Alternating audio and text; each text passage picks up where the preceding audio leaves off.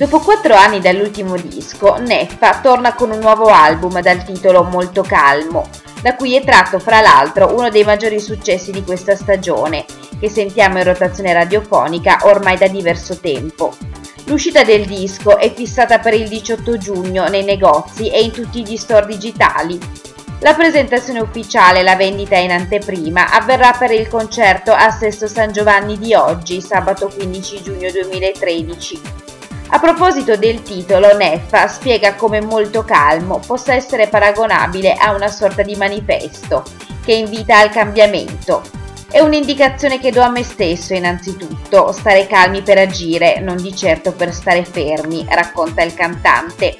Dopo Sognando Contromano uscito nel 2009 e il progetto 2 di Picche con J-Ax nel 2010, Neffa ha davvero fatto il botto stavolta il singolo molto calmo ha svettato le classifiche ed è diventato a tutti gli effetti un tormentone.